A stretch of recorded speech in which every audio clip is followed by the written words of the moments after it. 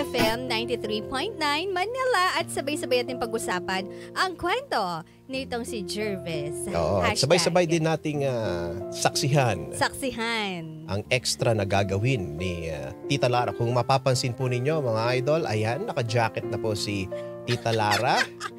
Kinakabahan ako, Ano ba- nakakaloka. Ano ba ang gagawin mo? Siyempre, bubuksan na natin, di ba?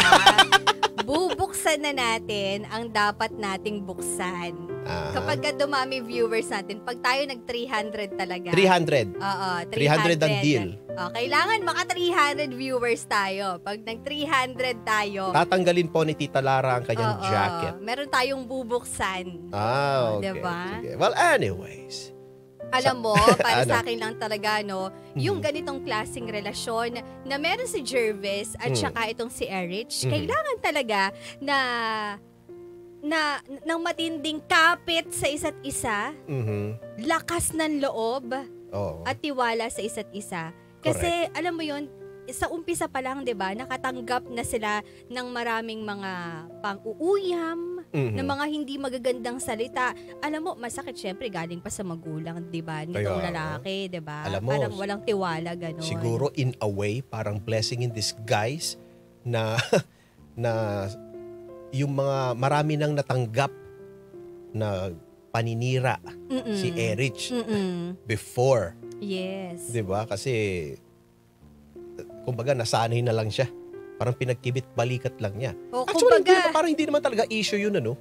Ang naging issue ni ano ni Erich is yung ano eh, yung ah, yung para bang nanghihinayang din siya sa sakita niya doon sa kasi 'di ba ma- mabilis yung ano dito. mabilis yung pera mabilis yung pera dito. And- Ah, mas mas ma ano yan? Mas doble pa yung kinikita ko kaysa sa binibigay ni ah, Jervis sa kanya, 'di ba? And ang eh. malaking question niya dito, is it worth it? 'Di ba? Is it worth it na magbago ako, na buksan ko yung sarili ko? Katulad ng tanong ko sa inyo mga idol, Mhm. ito yung sinasabi ko sa inyo, meron akong promise na bubuksan ko to. Oo. 'Di ba? Ipapakita ko sa inyo kung ano man na nasa ilalim nito. 'Di ba? Pero ang tanong ko sa inyo mga idol, is it worth it na buksan ko tong jacket na to para ipakita ko sa inyo? For just Katulad- 300 views? Oo. Mukhang nagbago Bakit po. hindi natin gawing 1K viewers? Sige, tingnan. diba? Kasi yun ang question din eh. Is it worth it? Ang question kasi nitong si, uh, nitong si Erich, Ah. ang takot niya, Mhm. kapag ka ba binuksan ko yung sarili ko sa'yo, sinabi Mhm. ko lahat ng mga pinagdaanan ko, Mhm. di ba syempre parang pinapakilala mo na rin yung ikaw, pati yung kahinaan mo eh. Mhm. 'Di ba? Parang mas lalo mo bi- mas lalo ka nagiging ah, kumbaga eh parang medyo mahina ganon. Tapos pwedeng makatanggap ka pa ng mas lalo pang kumbaga eh sa parang hindi naman bash, kumbaga ano ba tawag? Oo, pwedeng ganon. Pwedeng magbago din ang tingin itong si Jervis kay ah, Erich, 'di ba? Kapag ah, mas sinabi pa niya kung ano pa yung mga ginagawa niya. 'Di ba? Yung mga pinagdaanan niya. Siguro hindi na kailangan ng detalye.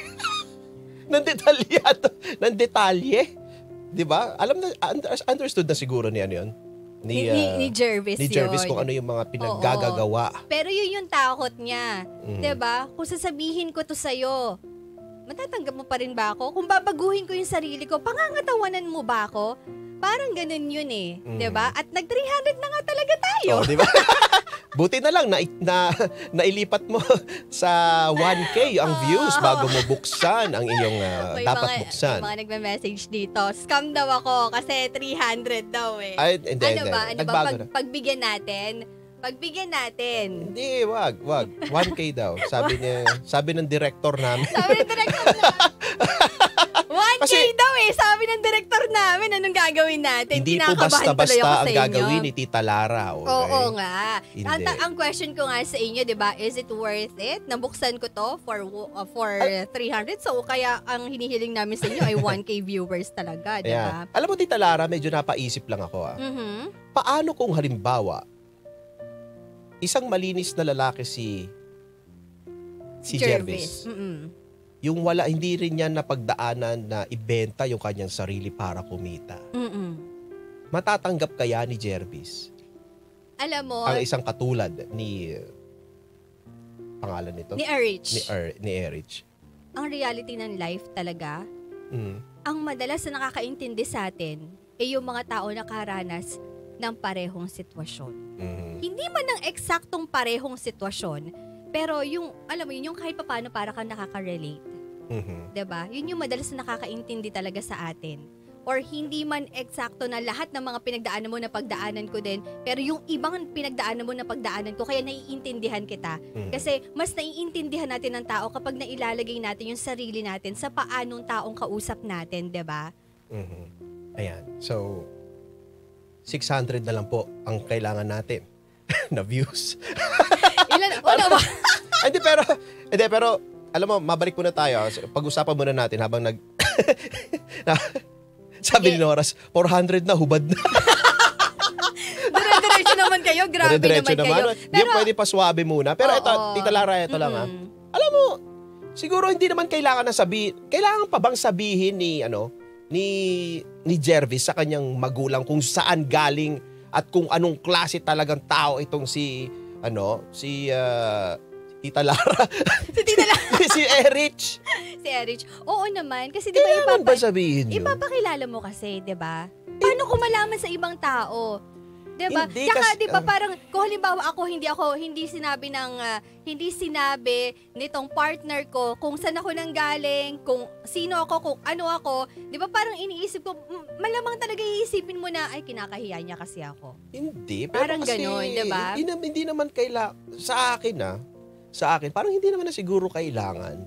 Lalo na kung ang intention nyo naman o kung ang direction ninyong dalawa ay nagkasundo kayo na babaguhin nyo ang Paano ko malaman niyo. sa ibang tao? Hintayin Diba? ko na lang. Hihintayin pa ba natin hintayin yun? ko na lang. 'Di ba? Hintayin ko na lang. Eh kung hindi.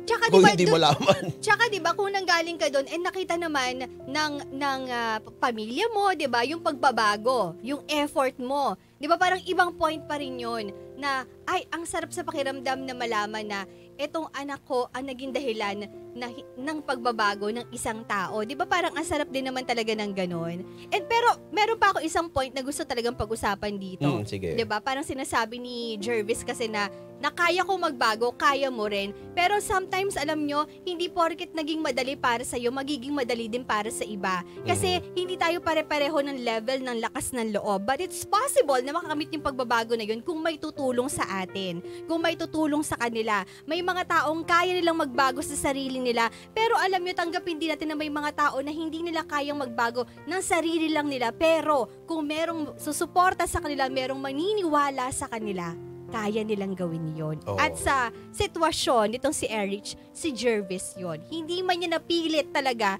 ah, kumbaga, pinilit yung pagbabago na yon. At least naging instrument si Jervis sa pagbabago ni Erich. Well, tulad nga ng sabi nila, eh, ano yun, natatabunan ng pagmamahal ang lahat ng kapangitan, dungis, dumi. 'Di ba? Kaya, well, for as long as ang intention ninyo is maganda, di ba? Eh, at ang pag-ibig ay nandoon. Malaking bagay, malaking bagay ang pag-ibig, ang magagawa ng pag-ibig sa pagbabagong hinahangad ninyo. Yes. Okay, so uh, ano na, Tita Lara? Ay, Mukhang, sad to say. Eto. ah, wala. Ay, nag-effort pa man din ako. oh. Kaya Eto nga. talaga, oh. Ay, wala. Ay, nako, wala mahina. Mahina, Mahina, wala. mahina, kayo. Hindi, sabi kasi, talaga, no? usapan daw 300 lang. Pero, syempre, di ba, ang sabi ko nga sa inyo, is it worth it? Di ba? For- Wala. Eh, bumitaw kayo eh. Oo nga, huwag kayong bibitaw Siyempre, pag ganun ganun, yun, di di ba? ba? Ganun ba yun? Oo. Kung meron kang gusto? Hindi ganun kadali, di Oo. ba? Kung meron kang gusto, nakita mong, ah, ba- ay, ang tagal. Mm-mm. Hindi. Ang di ba? dami dali nagsisend ng stars. Maraming maraming salamat sa mga pa-stars ninyo, mga idol. ah, sige. Ayan, Pero, thank alam you. mo, at some point, Tita Lara, we have to decide kung gagawin mo ba yan o hindi. Mhm. Kasi overtime na tayo. Ano ba? Direct? ko man patagalin man to, Direct? pero, ano, direct. Okay. Oo Okay, daw, ah, sige na. sabi na. Dahil nga to, pinangako ko nga sa inyo, di ba? Sige, ipapakita na natin. Eto na, mga idol. Gusto Ano ba yung, ano, ano, bigyan mo, ano ba yung may kita sa loob? Siyempre, yung tunay ko. Aba. Makikita nyo yung tunay kong pagkatao. Mhm. Eto talaga ako eh. Oh, ito yun. Eto yon mga Sige. idol. Ready na ba Okay, kayo? ready? Ready? A count of three. One. Ate, medyo ka ng konti. Para Saan? makita nilang buo. Ah, okay. Ganyan. Ayan. Wah! Tanggalin mo yung Alin? yung microphone. Ayan, ayan, ayan, ayan. Yan, Okay, ay, ay, tama, tama, tama, tama yan, Okay. uh, Kicks. Ready na ba kayo? Ready na kayo. Okay. Uy, konti na lang. 500 viewers na tayo. Di ba? Nakakaloka. oh, so, eto na po, mga idol. Walang magre-record, ha? Ako na mag-record kasi, Walang mag-screen oh, record, please, ha? para, para maulit. Oo naman. Yung mga Mm. pa-surprise na natin dito sa Dear IFM. Eto ako, mga idol. In, Okay. Bilang ka, bilang ka. Wow, ano ba to? Uh, Versace ba to? Oh, Versace on the floor. Oo. Sige. Ah, Ay, nag-600. nag-600 views. okay, eto na. Bilang ka Alam mo- dito. Okay, sige. O, bibilang na ako ah. On the count of three. Ready, Tita Lara? Three, Three, two, two, one. one, go! Ah! Ang mga patola kayo, no? mga asado kayo! Tanggalin mo! Tanggalin mo! Akala nyo, ah! Is it worth it?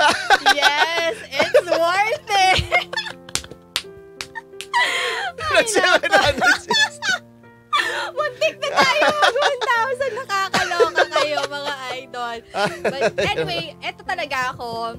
Ah, Ganto talaga ako, mga idol. Ito yung sinasabi ko sa inyo, di ba? Oo. Pero nagpapasalamat ako sa inyo. 'Di ba? Na, na kahit ito yung nakita ninyo, hindi man yung ine-expect ninyo sa utak Uy, mas ninyo. dumami oh. Oo, hindi man ito yung ine-expect ninyo sa utak ninyo na, hoy, ang dudumi ng mga isip nyo, ha? 'Di ba? Pero, alam ko na, nag-enjoy naman kayo, natuwa naman kayo. It's a Mhm. prank! Ayan. Scam daw, scam. Na-scam tuloy sila. But anyway, salamat sa lahat ng mga nanood, salamat sa lahat ng mga nag-abang. sabi ni, sabi ni Rowan, ayoko na manood. Ay, pero in fairness, oh, umabot na 841, no? Oh, baka mag 1K pa yan, ha? Oo nga. Huwag niyo naman sabihin mag-1. Bitin, dalawa yung jacket. Oh, sige, ako naman na maghuhubad. Oo, next time. Pero Eto. hindi. Ay, ako, ay, ako naman na maghuhubad. ikaw naman. Ready? Mm, sige, Okay. bilang ka, bilang ka. Okay. Three, two, one, go!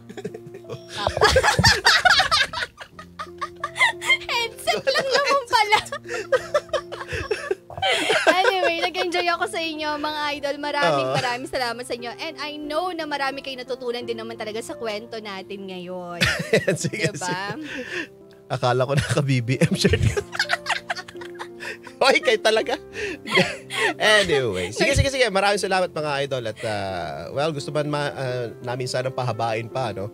Eh, we have to go now kasi susunod na po si Daddy Dong. And uh, salamat po, salamat at umabot kami ng 700 plus view. Oh, 800, ano? Oo. 800 plus viewers. Next Yay, time, thank mga you. idol. Marami kaming surprises sa inyo, kaya abangan nyo yan. Sige, maraming salamat mga idol. Susunod na si Daddy Dong. Ako po ang inyong pambansang tito, Tito Pakito. At ako naman ang inyong pambansang tita, Tita Lara. Susunod na si Daddy Dong, kaya tutok lang dito sa 93.9 IFM.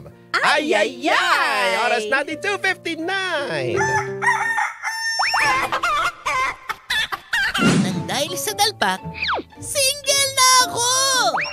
Michael, dating may jowa. Ay, ay, ay!